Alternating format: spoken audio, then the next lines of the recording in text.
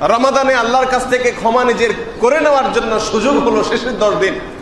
আমরা শেষের দশ দিন আসলে মার্কেটে চলে যাই। আমরা শেষের দশ দিন আসলে ঈদের জন্য আমরা ঝাঁপিয়ে পড়ি। মনে রাখবেন, ঈদ রোজাদারের জন্য। ঈদের জন্য রোজাদার নয়। দুটি জিনিস এখানে। একটা হলো আমার জন্য ঈদ, আরেকটা হলো ঈদের জন্য আমি।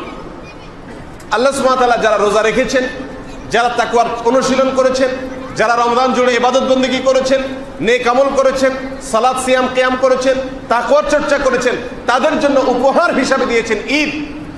অতএব ঈদ আমাদের জন্য, কিন্তু আজ আমরা রোজাদাররা ঈদকে আমাদের জন্য না করে আমরা ঈদের জন্য হয়ে গেছি। আমরা ঈদের জন্য হওয়ার মানে হলো ঈদের জন্য আমাদের নিজেদেরকে বিসর্জন করে দিচ্ছি। রমাদানের শেষ দশক আসলে মসজিদগুলো মুসল্লি শূন্য হয়ে যায়। মসজিদের মুসল্লিগুলোকে পাওয়া যায় মার্কেটগুলোতে, কেনাকাটাতে, ঈদের প্রস্তুতিতে, ঈদের শপিংয়ে। এর মানে হলো আমরা রমাদানকে বুঝি নেই। আমাদের রসুল সাল্লাহ ওসাল্লাম রমাদানের শেষ দশক কীভাবে কাটাতেন? কীভাবে তিনি রমাদানের শেষ দিনগুলো অতিবাহিত করতেন? সেই বিবরণ হাদিসের কিতাবগুলোতে এসছে। আমাদের আয়সারদুল্লাহ তালাহা বর্ণনা করেছেন সেই বুখারিতে এসছে। রসুল আকরম সাল্লাহ সাল্লামের রমাদানের শেষ দশক সম্পর্কে বলতে গিয়ে তিনি বলেছেন, কানা ইয়াজি তাহিদু ফিহি মালা ইয়াজি তাহিদু ফি গাইরিহি আল্লাহ রসুল সাল্লাহ সাল্লামের সারা জীবনে, শুধু রমাদানে নয়, গোটা জীবনে, রমাদান তো বটেই, সারা জীবনে অন্য কোন সময় ইবাদত বন্দীগীর জন্য, জিকির আসকারের জন্য, দোয়া ও তসবিহের জন্য, তেলাওয়াত এবং তাদাব্বুরের জন্য অন্য কোন সময় এত সাধনা করতেন না, এত কষ্ট করতেন না, এত পরিশ্রম করতেন না, যতটা করতেন রমাদানের শেষ দশকে। শেষ দশ দিনের যে পরিশ্রম ছিল তার ইবাদতের জন্য, এত পরিশ্রম অন্য কোনো সময় করতেন না, মোহতারাম হাজরিন। আমরা আমাদের রমাদানের প্রথম দশকের চাইতে দ্বিতীয় দশক বেশি অবহেলা করি, আর তৃতীয় দশক আসলে আমাদের অবহেলা চরমে পৌঁছে যায়। অথচ আল্লাহ নবী সাল্লাহ ইসলামের চরিত্র ছিল হুবহু এর উল্টা। তিনি শেষ দশক আসলে ইবাদতের জন্য পাগল করা হয়ে যেতেন। আমাদের আসাদুল্লাহ তালাহা বর্ণিত আরেকটি হাদিস রয়েছে, সেই বুখারিতে তিনি বলেছেন, কানা ইদা দাখাল আল আশার।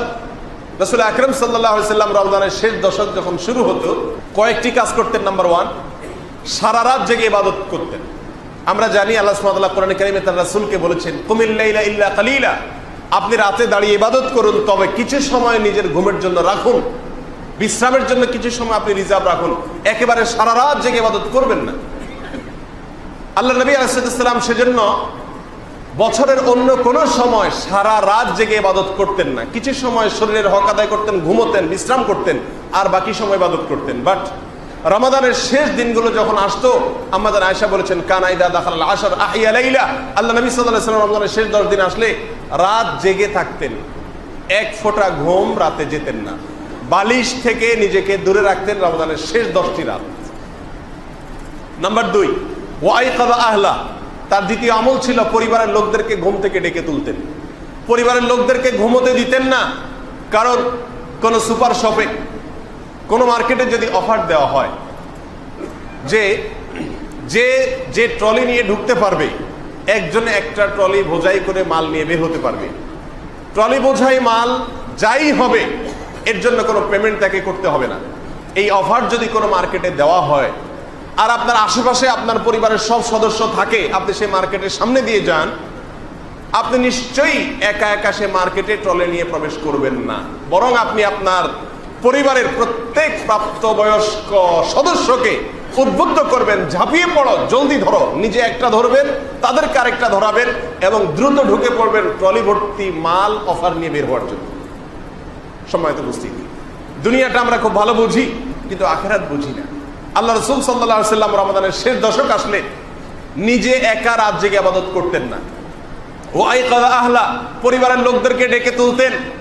এত বিশাল অফার চলছে, এটা ঘুমের দশক না। ও কপাল পোড়া, সারা বছর ঘুমানোর সুযোগ আছে।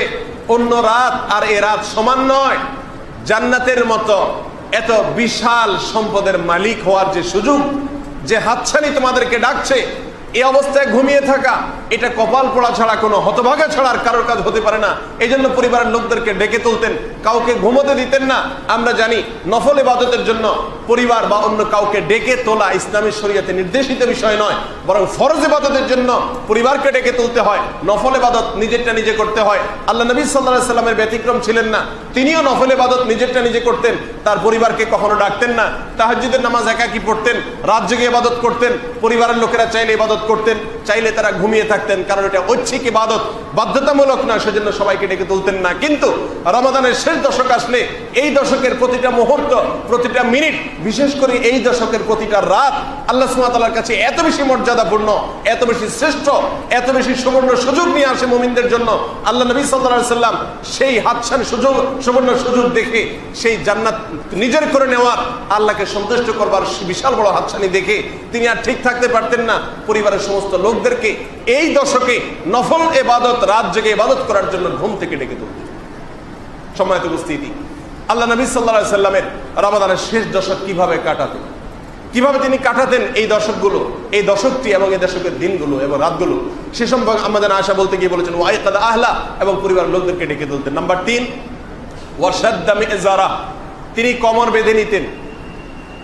মেজার মানে হলো কমর, যে জায়গায় মানুষ লুঙ্গি পরে, সেটা সেই জায়গাটা অর্থাৎ কোমর। কোমর তিনি বেঁধে নিতেন।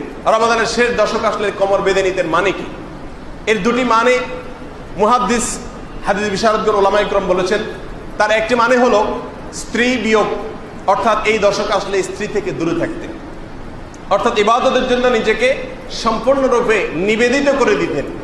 সেখানে আনন্দ, বিনোদন বা নিজের কোনো ভোগ, বিলাসিতার দিকে মনোযোগ ছিল না। এই স্ত্রী থেকে পর্যন্ত নিজে দূরে থাকতেন। অর্থাৎ এই দশকে শুধু ইবাদতের জন্য রিজার্ভ রাখতেন। আর অনেক মাদিসুল্লাহ একরাম বলেছেন, এর অর্থ হলো এবাদতের জন্য একজন মানুষের সর্বশক্তি নিয়োগ করাকে এখানে বোঝানো হয়েছে।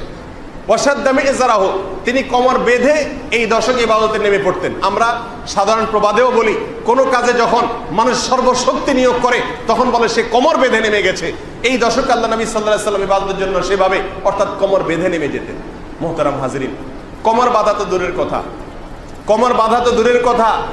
আমরা ন্যূনতম কোনো প্রচেষ্টা শেষ দশকে ইবাদতের জন্য করি। এরকম মানুষের সংখ্যা আমাদের সমাজে খুবই নগণ্য।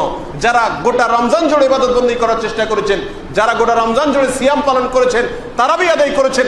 দুঃখজনক বিষয় হলো, সেই সকল লোকেরা পর্যন্ত যখন বন্টন করার সময় হয়, তখন তারা মার্কেটগুলোতে চলে যায়। তখন তারা ঈদের কেনাকাটা পেছনে চলে যায়, শপিংয়ের পেছনে সময় নষ্ট করে ফেলে এবং এদের দৃষ্টান্ত হলো ওই ব্যক্তির মতো। যে ব্যক্তি সারা দিন ভরে পানি সেঞ্চন করেছে, যখন মাছ ধরার সময় এসেছে, তখন সে বাচ্চা ছেড়ে দিয়েছে। মোহতারাম হাজরিন, আল্লাহ সুমাতাল্লাহ কোরআনে করিমে কোরআনে করিমে এক বৃদ্ধা মহিলার উপমা দিয়ে আমাদেরকে বুঝিয়েছেন, তোমরা ওই মহিলার মতো হইও না। আল্লাহ নাকাতাত গজলাহা মিন বাদে কুওয়াতিন আনকাথা তোমরা ওই মহিলার মতো হইও না, ওই বৃদ্ধের মতো হইও না।